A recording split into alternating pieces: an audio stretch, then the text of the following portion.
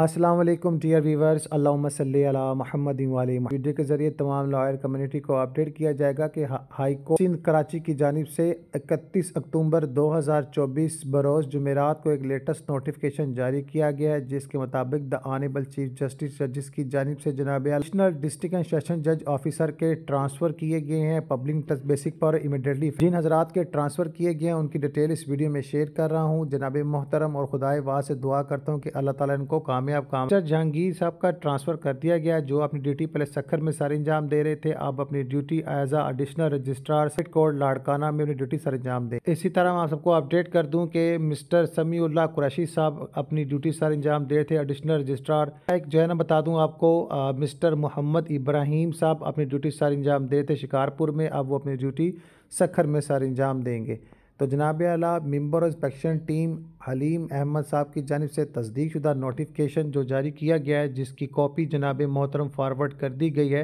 The chief secretary of the government of Sindh Karachi, the director general Sindh judicial academy Karachi, the district and session जज Sindh, the registrar high court of Sindh Karachi, the member of inspection team two of his court, the secretary ministry of law and justice division government of Pakistan Islamabad और दीगर कानून से वाबस्ता अदारों को। ताकि इंसाफ के तकाजे फराम करने में किसी किस्म की रुकावट ना सके। अल्लाह ताला इन सबको कामयाब कामरान करे, जिस मकसद पर अल्लाह ताला ने इनको